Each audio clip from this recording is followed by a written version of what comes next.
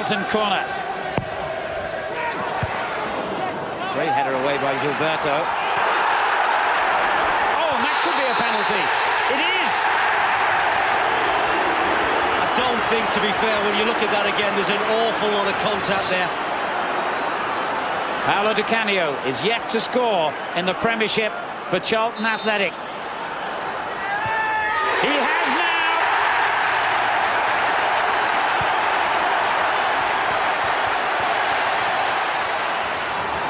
now. Ljungberg. Look who's drifted out to the right to try and weave his magic. And Thierry Henry almost did that. What a superb effort. Oh, it's magnificent, wasn't it? Absolutely top draw. A lot of bodies between Kiely and Thierry Henry in the ball. What a magnificent strike by Thierry Henry! Arsenal are level, and there was only one man who was going to score it.